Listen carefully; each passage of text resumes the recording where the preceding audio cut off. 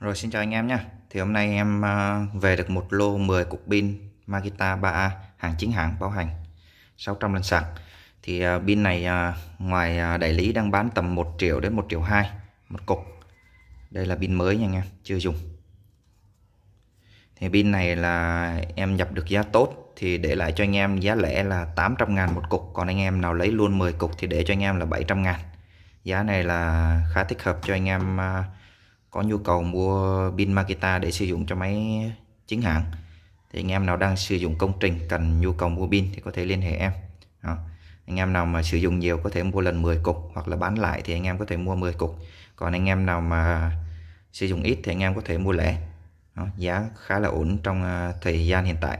Anh em quan tâm thì có thể liên hệ em. Đây là pin 3A chính hãng nha anh em. Anh em quan tâm thì liên hệ em qua số điện thoại trên tiêu đề. Em phát gò vấp.